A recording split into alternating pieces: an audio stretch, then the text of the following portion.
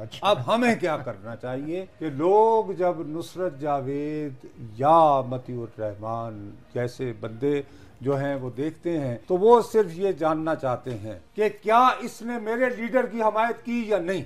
अगर की तो जिंदाबाद। अच्छा अगर वो दूसरे का हामी है अंधी नफरत और अकीदत में तकसीम तो हमारी जनरल पहचान ये है कि हम लिफाफे हैं। मैंने तो एक टोकरी भी वसूल की थी।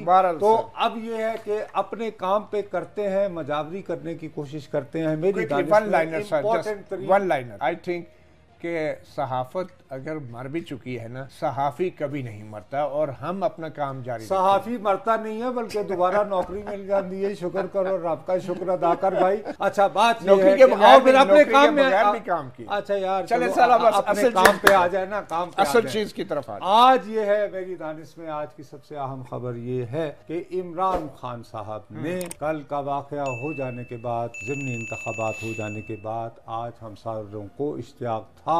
कि वो क्या कहेंगे जवाब में। तो उन्होंने जो कहा आपके साथ बैठ के सुन रहा था बहुत गौर से बड़े इश्तियाक से। तो मुझे जो तीन बातें उनकी अहम लगी।